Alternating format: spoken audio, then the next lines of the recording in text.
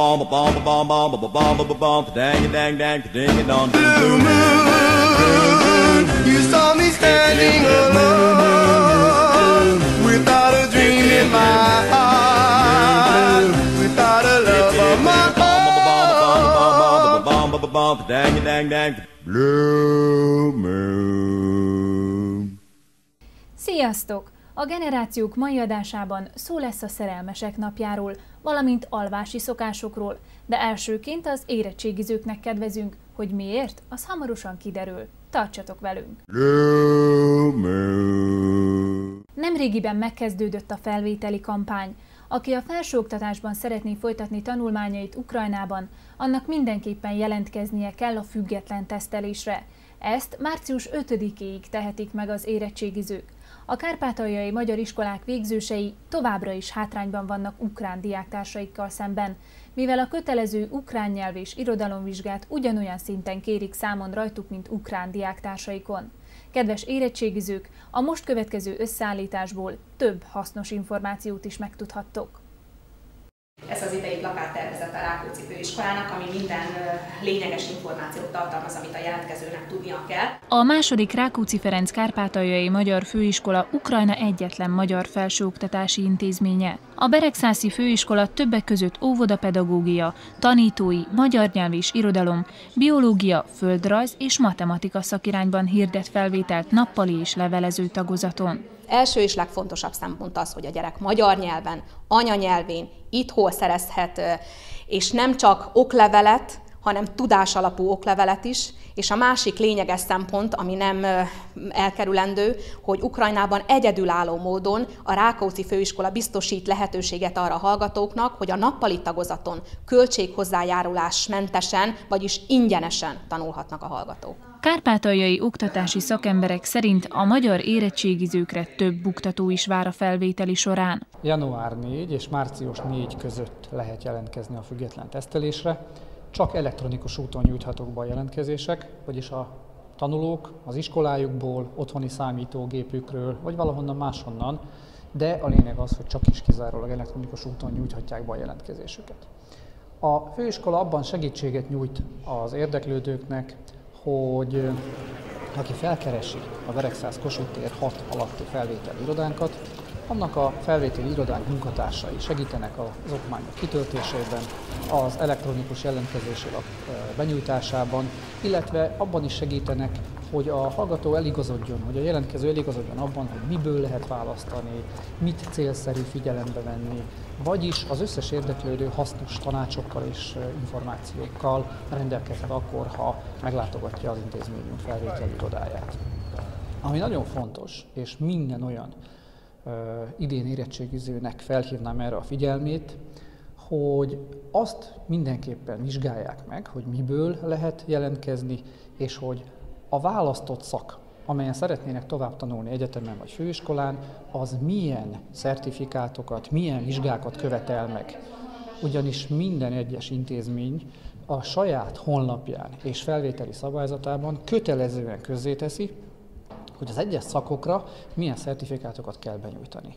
Három, esetleg négy szertifikátot írnak elő ezek a szabályzatok egy-egy szakra, és a kötelező ukrán nyelv és irodalom szak mellett, vagy ö, tantárgy mellett további minimum két tantárgyat kell kiválasztani.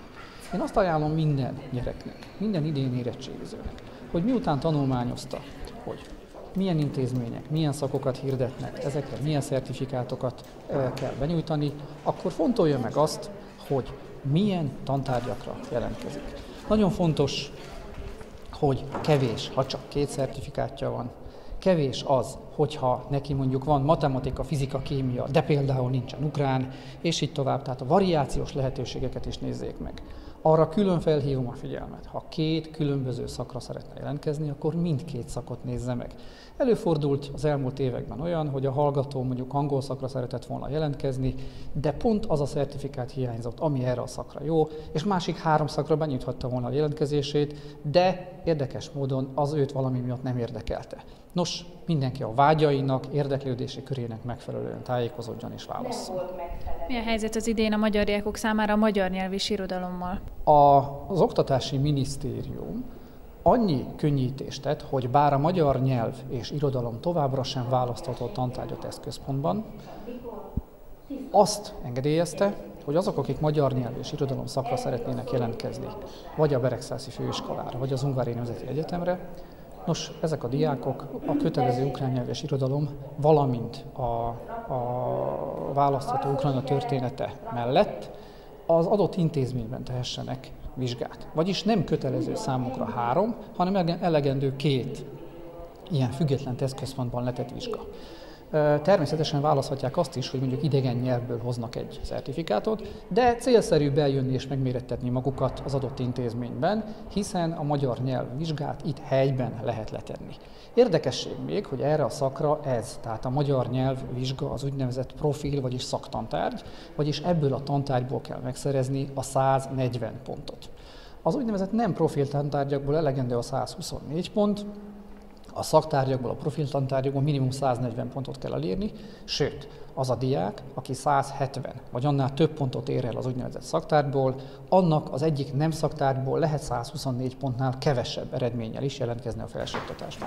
Nos, aki magyar szakra jelentkezik ismétlen, azok a magyar vizsgán kell, hogy elérjék ezt a 140 vagy esetleg 170 pontot, és így akár a 170 pont vagy a fölötti eredménnyel az egyik szertifikátjuk akár még kevesebb is lehet, mint 124. Szerintem azért jó célpont, azért lehet és érdemes ezt az intézményt választani, mert az itt dolgozó emberek valóban úgy gondolják, hogy azok a hallgatók, akik idejönnek, azok megérdemlik, hogy jó körülmények között, jó tanároktól és magas szintű képzésben részesüljenek. Tényleg megpróbálkozunk azzal, hogy minden olyan feltételt előteremtsünk a hallgatók számára, amely a minőségi tanulás és oktatás feltételeihez, körülményéhez szükséges. Nos, ha én ma lennék magyar tannyelvi iskolában érettségiző Kárpátalján, egészen biztosan megfontolnám, hogy jelentkezzek a főiskolára. És senkinek nem akarom azt mondani, hogy csak és kizárólag ide jelentkezzen, de azt tanácsolom, hogy bárhova is szeretne menni tovább tanulni. Magyarországra, Ungvára, Kijevbe, Munkácsra, bárhová, azért nézze meg a főiskola felvételi tájékoztatóját, és ide is jelentkezzen legalább. Felsőoktatási intézmények között egyedülálló módon a főiskola nappali tagozatos képzése minden tekintetben ingyenes, vagyis nincsen sem tandíj, sem költséghozzájárulás. Azok a diákok tehát, akik ide jelentkeznek és ide nyernek felvételt, az első diplomájukat ingyenes képzésben szerezhetik meg. Sőt, a felvételi bizottságnak tavaly volt egy olyan kezdeményezése, hogy az a hallgató, aki az intézményünkben nappali tagozatos, és valamely levelező ö, tagozatos képzésben is részt vesz, nos, számára a levelező tagozatos képzés is ingyenes. Something special in the Hungarian culture, a special me? Szeretnék tovább tanulni a szemelvész gyógyszerész karán, de mindenképpen szeretnék adni egy ZNO-s külső érettségi tesztet, már csak azért is, hogyha esetleg nem sikerülne, akkor itt is be tudjam adni. De másodfokú terve az, hogy a főiskolán beadjam angol levelezőire a felvételit, úgyhogy két helyen szeretnék egyszerre tanulni. A lehető legtöbb ZNO-t adok, amennyi engedett a keretbe. Ez azzal jár, hogy rengeteg külön órára járok, hétfőn angolra, kedden biológiára, szerdán pedig fizikára, csütörtökön pedig még egy angol következik, úgyhogy elég zsúfolt a hetem, nehéz ez az év. Hát a tanáraim azok felkészítenek úgy az itteni ZNO-ra, mint más, más fokú érettségikre, úgyhogy úgy gondolom, hogy elég felkészítést kapok. A tanulás az nagyon nehéz, mert rengeteget kell tanulni, és nagyon kevés az idő. Van olyan, hogy 9 óránk van egy nap, és azután külön óra, és még tanulás a holnapra, úgyhogy elég bonyolult, de ezt ki kell bírni, és aztán szerintem így minden rendben lesz. Az oktatási rendszerünk visszatért a 11 éves oktatási rendszerre. Mi 12 éves rendszerben tanultunk itt a gimnáziumban, a, sajnos az egyik osztályunkat, tehát a nyolcadik osztályunkat be kellett zárni, és így most már mi is egy osztályos gimnázium lettünk. Ennek a kárát a diákjaink látták ugyan, de általában nagyobb részük nekik is, tehát olyan 90%-uk a hetedikeseinknek is bejutott tavaly is. A hetedikeseink az ukránt rosszabbul adták le, de viszont van egy ponthatár, az úgynevezett 170 ponton felül teljesítők bejutottak, úgyhogy e- ezáltal Ukrajnába is majdnem minden diákunk bejutott. Tehát ahogy tudom, hogy három diákunk nem jutott be a tavalyi, tavalyiak közül a felsőoktatásba, többiek mind bejutottak. Hát nagyjából a többi tantárgyból nincsenek, nincsenek problémáink, tehát itt vannak azért különböző problémák, hogyha a gyerek több, mert a független több szaktantárgyból is szeretne vizsgázni. Ukrajnában ez négy tantárgyba határol, határozható meg, meg hát az iskolában viszont ha három tantárgyból érettségiznek, ez megint egy probléma Magyarország, Magyarországgal, tehát ezeket a gyerekek megpróbálják áthidalni. Egyrészt a független a vizsgaközpontokban próbálnak Ukrajnába vizsgázni, meg Magyarországon legfőképpen felsőfokú érettségi vizsgákat tesznek. Az érettségizőknek március 5-éig kell jelentkezniük a független vizsgaközpontokban. Aki ezt elmulasztja, az később nem adhatja be papírjait az egyetemekre és főiskolákra. Kárpátalja magyar iskoláiban idén több mint 1100 érettségiző lesz. A diákok egyidejűleg maximum 5 felsőoktatási intézménybe jelentkezhetnek. Sokat kell készülni, hétvégeimet inkább eltörtöm, készülök a független tesztelésre, próbálok biológia szakra bekerülni az Ungvári Egyetemre, remélem, hogy sikerül, ingyenes szakra. Az Ungvári Nemzeti Egyetemen jelenleg több mint ezer magyar ajkú diák tanul. Az egyetemen működő magyar karon négy szak közül választhatnak a felvételizők. Matematika, fizika, történelem, valamint magyar nyelv és irodalom. A felsőoktatási intézmény vezetői szerint fontos, hogy az itt diplomázó fiatalok szülőföldjükön kamatoztassák a megszerzett tudást. Nagyjából 12 ezer diák tanul nálunk, és a, mi a legfontosabb a, a diákoknak, ez nagyon érdekes, nagyon jó és ö, jó szintű oktatás folyik. Ez több mint 550 docens dolgozik nálunk, és nagyjából 120 professzor a tanárokon kívül. Ezért ettől magasabb és jobb színvonalú oktatást Kárpátán végezni nem, nem tud senki. Ez a, leg, ez a legelső. Miért, hogy miért jönnének hozzánk az egyetemre először is? Második, itt nálunk az egyetemen, ebben a 12 ezer diákból majd, hogy nem ezer aj, magyar ajkú diák tanul. Szóval ez egy ilyen kisebb közösséget alkot, sok érdekes pillanattal is, esti partikkal, golyatáborokkal, kirándulásokkal, és egyszerűen jó baráti körrel. Ez is fontos a diák, életé, az diák életében. Ezen kívül, ami nagyon fontos a magyar végzősöknek, ez az, hogy a felsőoktatás magyar nyelven megy. Ez azt jelenti, hogy fizikát, mateket, történelmet és magyar filológiát anyanyelvén tudja megtanulni a diák. Ez nagyon fontosnak számít, és én is ezt, ezért is ajánlom a magyar ajkú diákoknak, hogy jöjjenek hozzánk. De nem ez a fő szél, hogy csak magyar nyelven menne az oktatás. Speciális rendelettel azt értük el, hogy a, nálunk a karon négy éven át fogjuk tanítani az ukrán nyelvet is. Azért, hogy azok a magyar diákok, akik hozzánk jöttek és mondjuk gyengében tudják az ukrán nyelvet, azok, amikor bevizsgálunk az egyetemet, ne legyenek, legyen nekik lehetőségek munkát találni itt Kárpátalján. És ehhez azért az ukrán nyelv, hát minimum, hát kéne, hogy tudja az ember az ukrán nyelvet. Ha el akar helyezkedni akár egy állami posztra, akár cégekbe, és az ukrán nyelv azért kell. Ebből a szempontból nem csak azt csinálják, hogy magyar nyelven oktatjuk, és így jobban megérte a diák azt a tananyagot, amit neki kiadunk, hanem azt is, hogy elérjük azt, hogy a 5. évfolyam után a diákok fogják tudni az ukrán nyelvet is. De a legfontosabb az az, amit ez éven, pontosabban nem ez éven, hanem még a 2012-es évben elértünk, ez az, hogy a, megkötöttük a, a szerződést az ELT Budapest Tudományos Egyetemmel, mi szerint az ELT és, az ELT a magyar kormány elismeri a mi bakalaurusi szintjünket, ezután felvételi vizsgákkal itten felvételizhet magisztratúrába, magyar, magyarul ez mesterképzésre, és bevégezve két év alatt a magiszteri képzést az LT, megkapják a két diplomát, mint az LT diplomáját szakonként, mint az Ungár Nemzeti Egyetem diplomáját. Ez főleg azért jó, mert először is, eh, először is serkente diákokat arra, hogy jobban tanuljanak, másodszor pedig azért, hogy sok lehetőséget ad a diákoknak, amikor bevégzem mi karunkat. Ez azt jelenti, hogy kap egy olyan diplomát, ami Európa szerte és világszerte is elismert, mi az ELTE azért benne van a 300 legjobb egyetemek között a világon. Közép-Európában szerintem csak három van, a prágai meg a krakowi, amik még nagyjából ilyen jó helyezésben részesült a rejtingekbe. És második, megvan neki a lehetősége az is, hogy itt munkátán nálunk is Kárpátán. Szóval nekünk az a legfontosabb a diák, amikor bevégzi, megkapja a lehetőségeket. Most hogy fogja felhasználni, ez másik kérdés, de én azt mondanám, hogy a legfontosabb, hogy megkapja a tudást, és megkapja a lehetőséget, hogy aztán hogy fogja ezt a tudást felhasználni az életébe. Na és aztán az se kevés, hogy a diák nálunk azért ösztöndíjat kapnak. Az első szemeszterben mindegyik diák, aki felvételizik, ez nagyjából mai napra 700 1000 gimnyáig van. Most kezd növekedni, szóval nagyjából 1000 körül lesz az ösztöndíj. Második szemeszterben pedig azok, akik jól tanulnak. Négyes, ötös tanulók mindegyik kap ösztöndíjat. Szóval ez is viszonylag jó dolog, mert azért sok helyen, még a munkahelyen is nagyjából ennyit kapnak fizetést, mint egy diák. Egyet követelünk a diáknak, hogy jól tanuljon. A független tesztközpont bejelentése szerint az idei érettségi és felvételi megszervezéséhez és lebonyolításához legalább 3,5 millió eurónak megfelelő hrivnya hiányzik az államkasszából.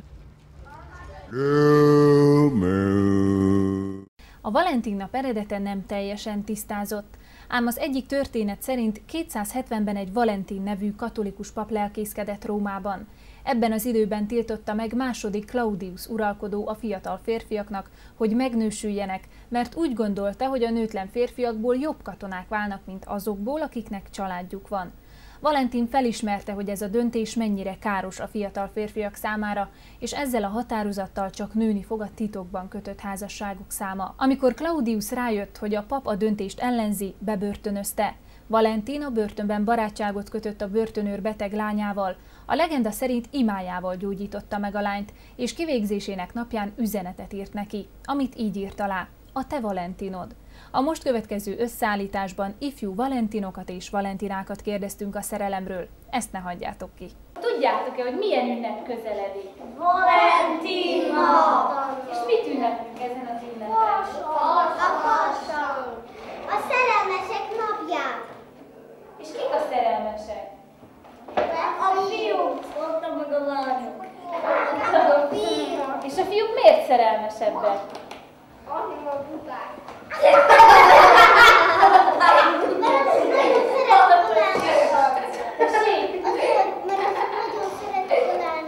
És miért jó szeretni a lányokat? Mi benne Hát a szépek. Szépek? És mikor szép egy kislány? Gépsúba. Szép a haja, szépen van felöltözve. Mert a lányok mindig tudják, hogy kell viselkedni, és a fiúk mindig megnézik, hogy melyik lány olyan illetesen viselkedik, és akkor kivál, és akkor egyszerűen szerelmes lesz belé, mert annyira tetszik neki, hogy viselkedik. Te kit szeretsz? Betty! Betty-t! És ti egy pár vagytok ebben az osztályban? Két pár. Igen, nem. Nem? Ő engem, de én más szeretek, nem őt. Hát és így mi a megoldás? Hát semmi. Semmi, nincs megoldás? Hát megmondom neki, hogy sajnálom, de... De? Nem. És ezt hogy fogadod? Nem szeret. Nem tudom. Hát így. Tudod-e, hogy mi a szerelem?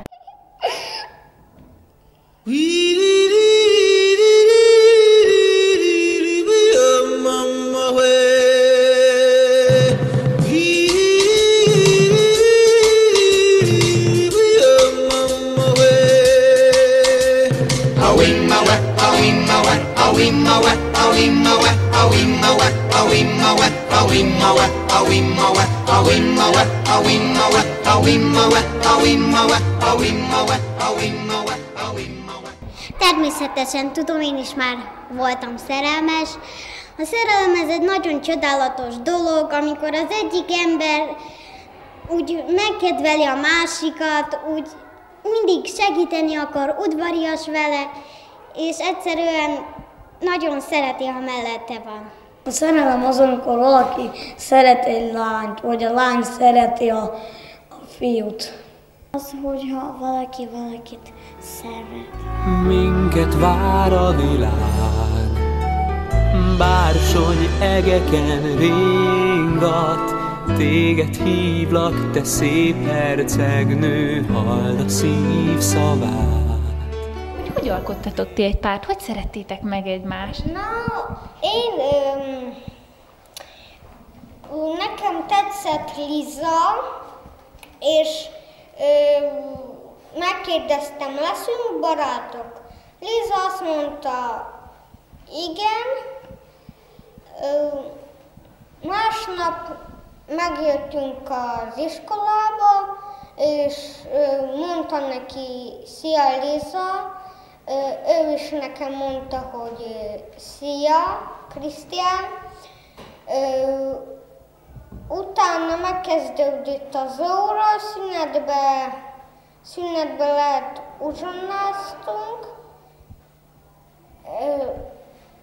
Utána a napközibe egyszer megpusziltam, de először a, úgy, hogy senki ne lássa. Hol? Úgyhogy ne senki ne lássa. Tudtatok olyan helyet találni, ahol még az óvónén és a tanárnő se lát titeket? Nem, nem, én észrevettem, hogy nincsen senki a közelbe. A padban ültünk, és mellettünk volt egy kisfiú, beszélgetett másik gyerekekkel, és én megpusziltam Lizát. Mit szeretsz Lizában? A kék szemét, a száját? Mi az, ami tetszik neked benne? Na, tetszik maga a teste. És látom, hogy egymás kezét fogjátok.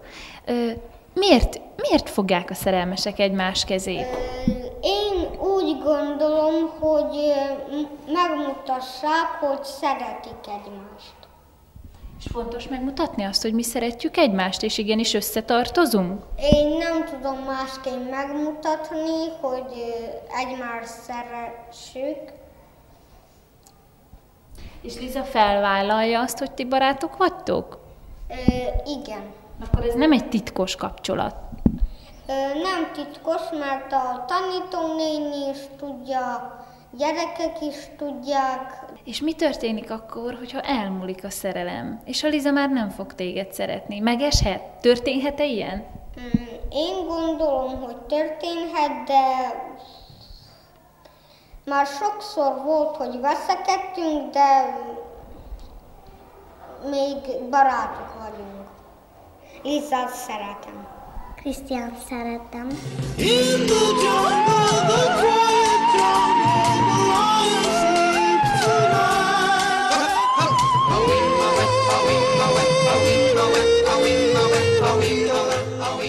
Puszítátok már egymást?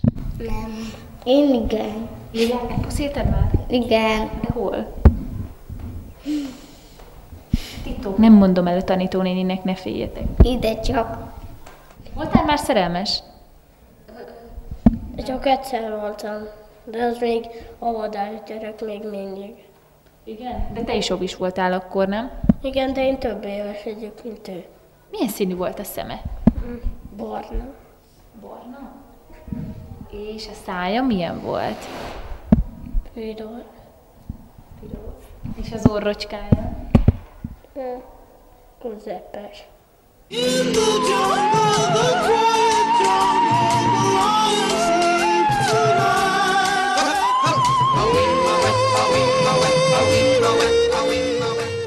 te voltál már szerelmes? Igen. Most is vagyok Bettibe. Miért pont Bettibe? Mert ő nagyon szép. És mi?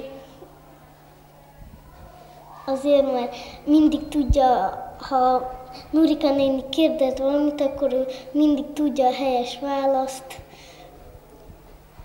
És nektek szokott segíteni? Betty?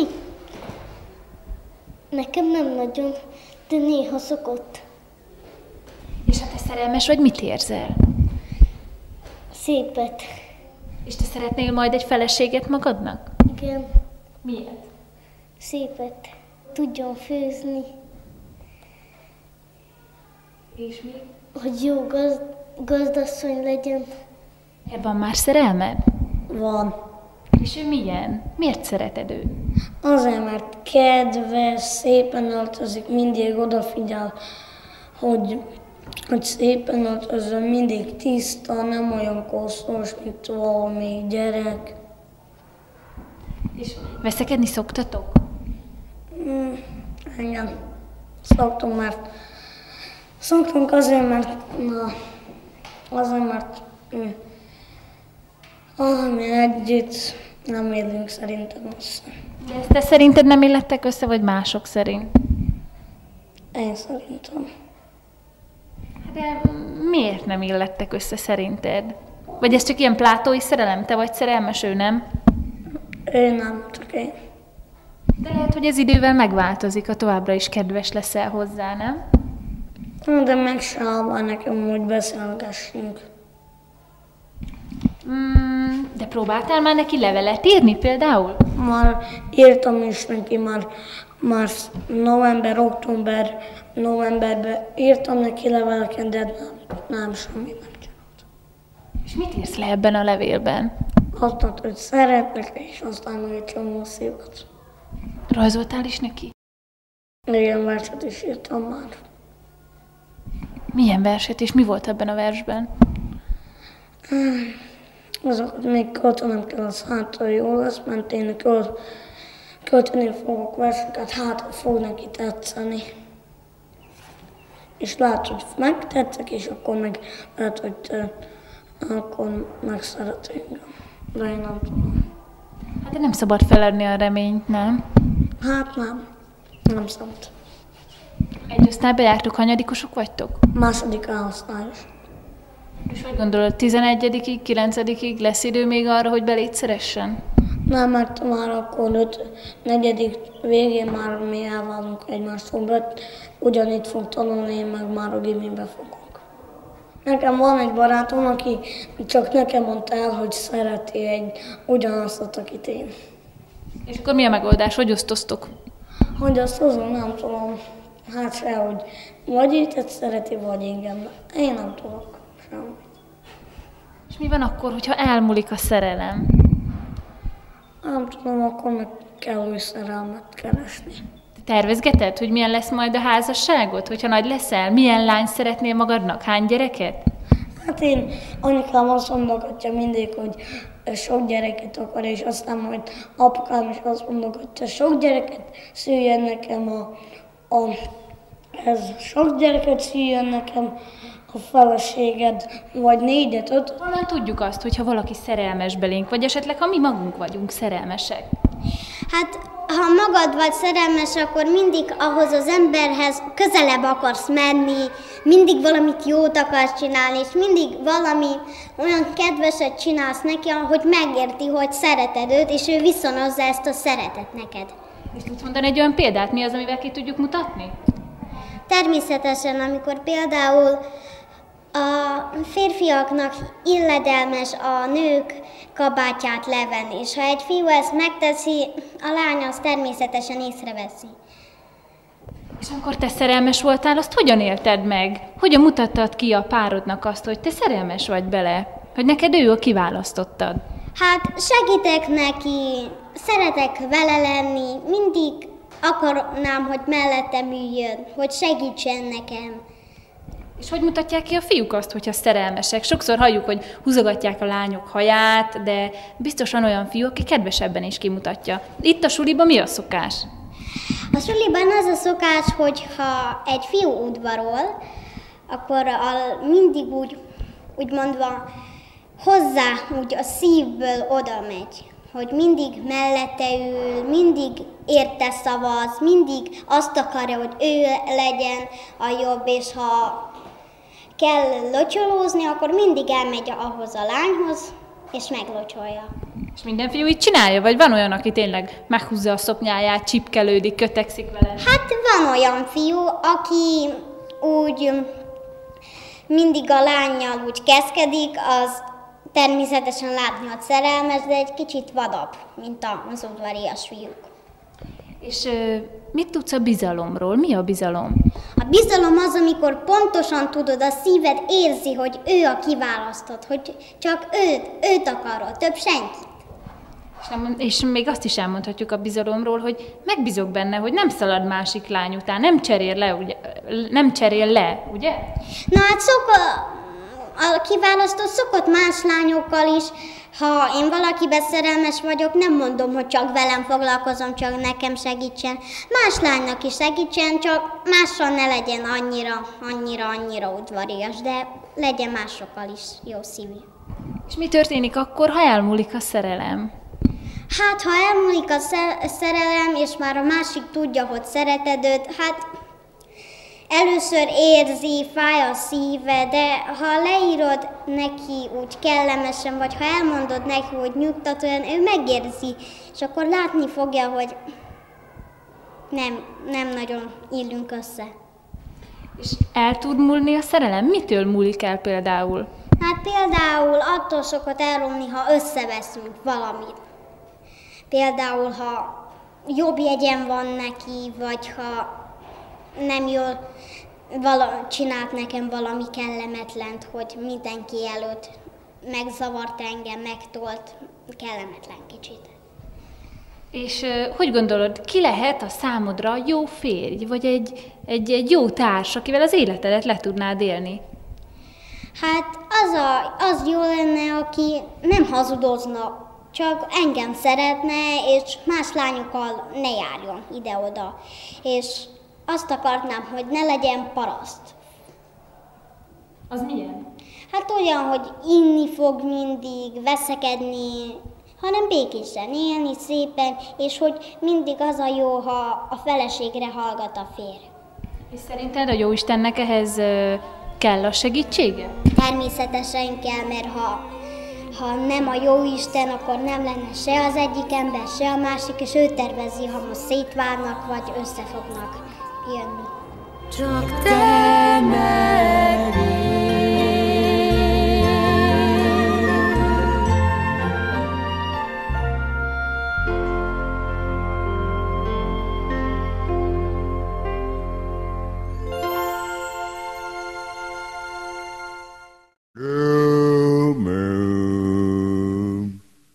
Kevesen tudják, hogy az alvás milyen fontos szerepet játszik az életünkben. A most következő összeállításban fényderítünk az alvás titkaira. Aludni, és ebben mindenki egyetért, jó. A folyamat, mármint hogy nyugovóra térünk, ha elfáradunk, mindenki számára természetes. Épp úgy, mint a percenként 14-15-szöri levegővétel.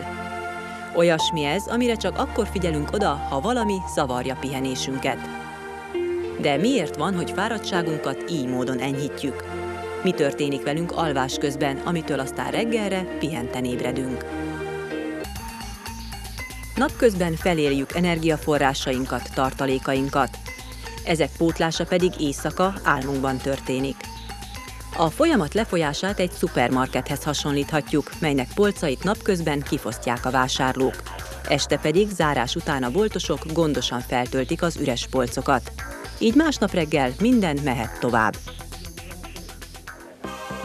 Mindez persze csak akkor megy végbe, ha alvásunk zavartalan.